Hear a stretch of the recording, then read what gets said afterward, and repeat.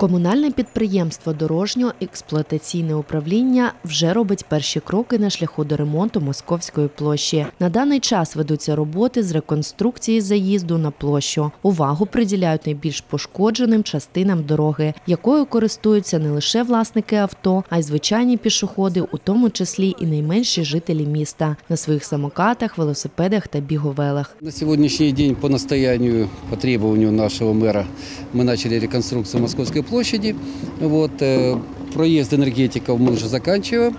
Замену плиток, плит, которые, скажем так, вышли из строя, уже арматура торчала, уже опасно было пользоваться этими плитами. И детки ездили, и велосипедисты ездили.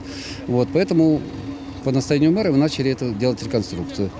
Заканчиваем ее и приступаем также э, сейчас э, к укладке тротуарной плитки в центре нашего города от цветочных магазинов. Э, На сегодняшний день мы тоже начали работы.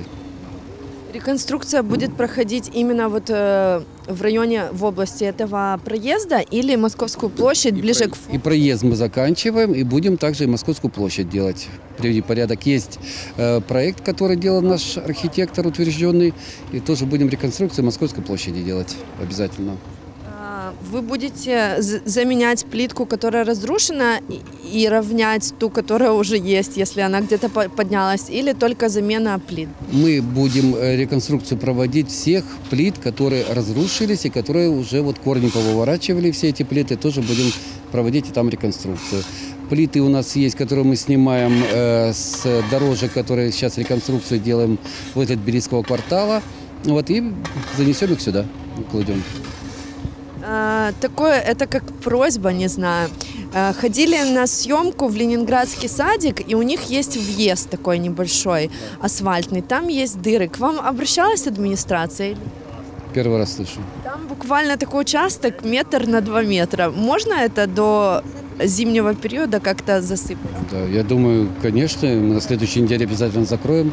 Ну, надо обращаться просто своевременно. Мы буквально вчера в Ленинградском квартале работали, и если бы нам об этом э, сказали, попросили, мы бы сделали это вчера еще. Мы там работали, да.